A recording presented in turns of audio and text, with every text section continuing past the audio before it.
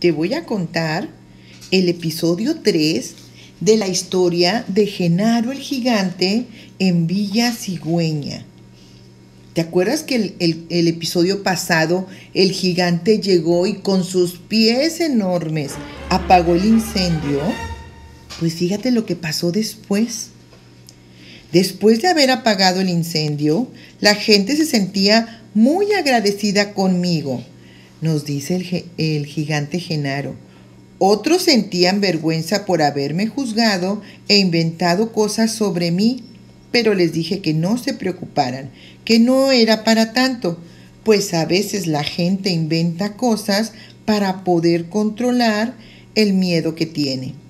Desde entonces he conocido gente maravillosa, como dos de mis amigos más cercanos que son hermanos gemelos, Hipólito y Homero, que aunque son idénticos físicamente, ambos tienen sentimientos y personalidades muy distintas. Mira, por ejemplo, la bebida favorita de Hipólito, ¿cuál crees que es? La leche de vaca. Y la de Homero, su hermano gemelo, es el jugo de hojas verdes.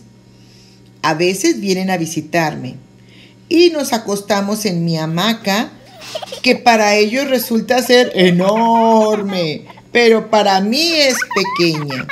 Otros días jugamos con Hernán, mi halcón. También nos gusta buscar hongos silvestres para cocinarlos con zanahorias y habichuelas.